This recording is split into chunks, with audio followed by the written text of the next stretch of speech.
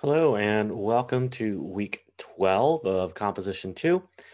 Today, or this week actually, uh, we are going to be looking at getting some feedback from the research argument section of the research project, which you have shared with me. So I'll be working on getting you feedback this week.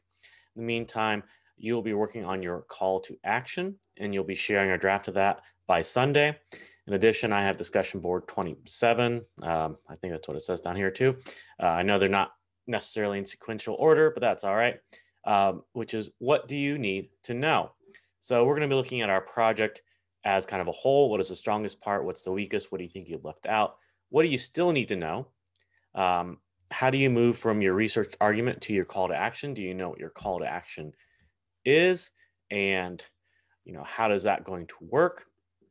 Looking at uh, your call to action, you know, what are the major call to or counter arguments to your call to action? How do you refute these counter arguments? These are important things because you have to anticipate and uh, expect what others are going to say. They might say, well, this isn't going to work. Well, here's why they're wrong. That's why we did um, discussion, I think it was 23, where you're testing out your ideas. And again, with the last week's discussion board, uh, looking at your arguments and, and what you know right now, that sort of stuff.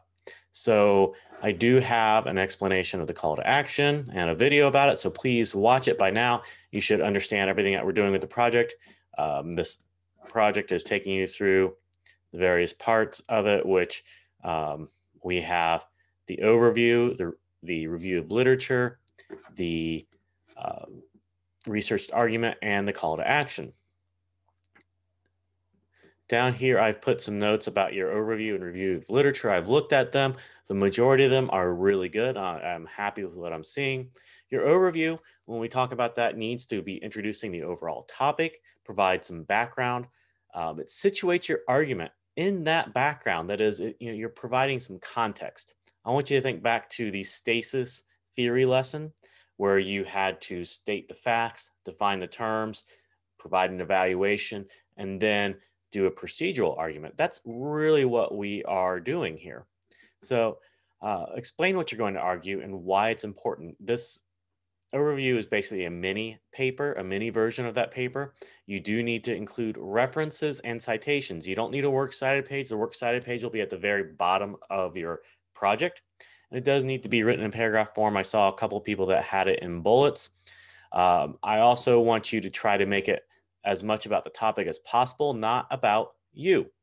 Um, so it's not really saying, well, I'm doing this awesome argument and I think this and I feel this. It's about the topic and why it's important. So you're talking about who's affected by the topic, who it's going to help with your call to action, uh, all those things. So that is what we were looking at doing with our overview.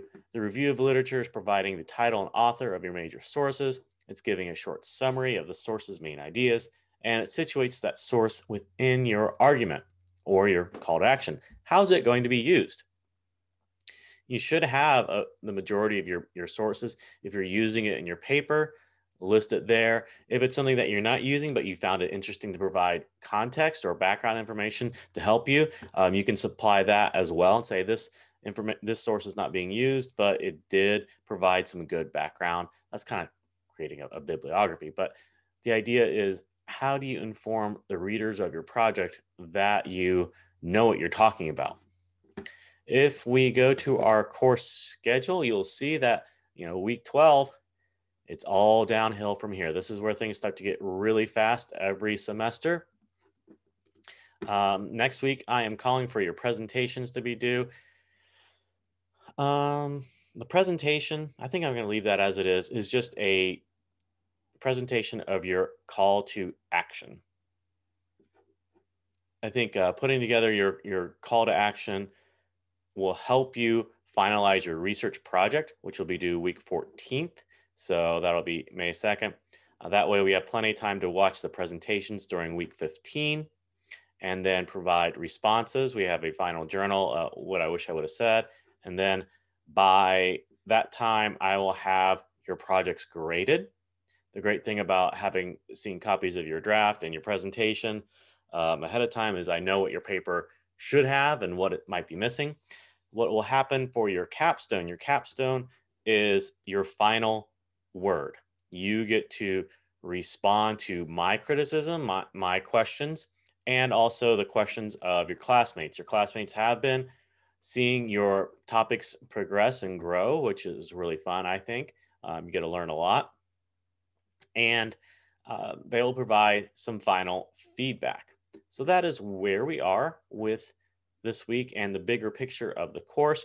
As you can see, it's just a lot of writing and research. We are done with our major reading. Hopefully you have your the majority of your research, but your capstone will have to answer specific questions and it might rely on uh, you finding some new research. If you have questions, please contact me. Some of you have, and that's been great. It makes me feel like uh, I'm really helping you out rather than just uh, throwing stuff out at you and hoping that you're getting it. Uh, so that is that. I hope you have a great week.